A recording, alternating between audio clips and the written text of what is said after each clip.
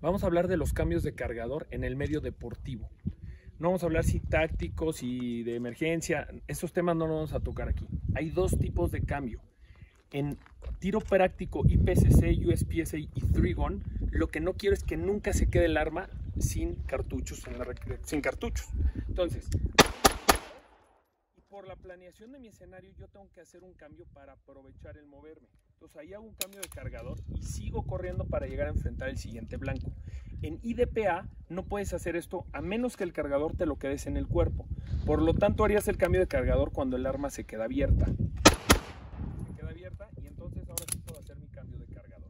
¿Cómo se hace un cambio de cargador?